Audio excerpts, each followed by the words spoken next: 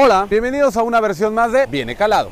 El día de hoy con un gadget muy esperado que es este, el Hero 4 Session. Aquí se ve. Este es uno de los equipos más esperados de GoPro. ¿Y saben por qué es tan esperado? Porque esa camarita, además de ser muy pequeña, no requiere de un case para que la sumerjan al agua, pónganse en la arena, donde ustedes quieran. Puede sumergir hasta 10 metros. Ya la estuve probando y por eso aquí cinco cosas que tienen que saber. Primero, es el funcionamiento básico. Tienes un botón en la parte de arriba donde solamente con oprimir una vez directamente empieza a grabar video. Ahora que si lo oprimes 3 segundos empieza a tomar fotografía. Si no leyeron el instructivo, si oprimen el botón durante 10 segundos va a resetear todo el equipo. Lo segundo que debes saber es que la configuración es a través de una aplicación. Si ya eres usuario de GoPro, seguro ya lo sabes. Bueno, claro, cuando descargan la aplicación se van al Wi-Fi, la cámara emite su propio Wi-Fi y ahí se puede de todo. Descargar los videos, cambiar la configuración. Hero 4 Session de verdad es bastante pequeña. Yo, yo lo comparé con una eh, y pueden ver que, bueno, no llega ni a la mitad. Su peso es menos de lo que pesa, pues no es un celular. Bueno, si tienen un celular ladrillo, pues ni cómo ayudar. Lo tercero es su segundo botón. Está ubicado justo en la parte de atrás. Y ahí es donde, una vez que lo oprimes, eh, puedes hacer dos cosas. No, irte a la configuración del Wi-Fi. La otra, que no mucha gente sabe. Luego, si estás grabando, que puedes tener, no sé,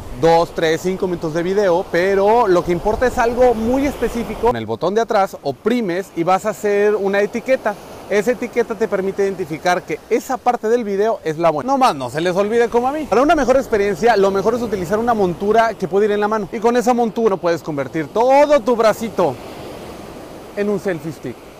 El botón de arriba es bastante sensible, si lo pones en tu mochila puede que empiece a grabar. Para eso les recomiendo que en la montura que tiene, pues ya lo pongan, lo pueden poner, no sé, para hacia la parte de abajo, etcétera, y así ya no se oprime. Número 5, y que es una maravilla, es que este ya viene con dos micrófonos, uno que está en la parte frontal y uno que está en la parte de atrás. Ahora, se preguntarán, bueno, ¿y como para qué los dos micrófonos? La realidad es que tiene un sistema que switchea o cambia de un micrófono, es decir, si nota que, por ejemplo, hay mucho viento de un lado, pero hay voz del de atrás, va a grabar en el de atrás. Si nota que la voz o que el audio importante viene de la parte de adelante, va a grabar pues, en el de adelante. Otra característica es que tiene una pequeña ventanita donde puedes ponerlo a cargar y meter la memoria SD que soporta hasta 64 GB. Hero 4 Session. Cuando se grabó este video todavía no estaba a la venta, pero lo conseguimos en el mercado negro, güey. No, ¿qué pasó? De manera legal. Espero les haya gustado.